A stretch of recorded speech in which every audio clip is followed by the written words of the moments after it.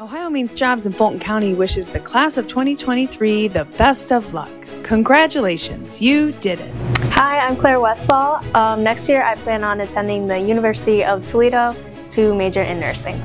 Hi, I'm Layla Stickley and next year I'll be attending Trine University and majoring in elementary and special education. Hi, I'm Aislinn O'Brien. I will be attending Owens Community College and majoring in nursing. Congratulations, class of 23.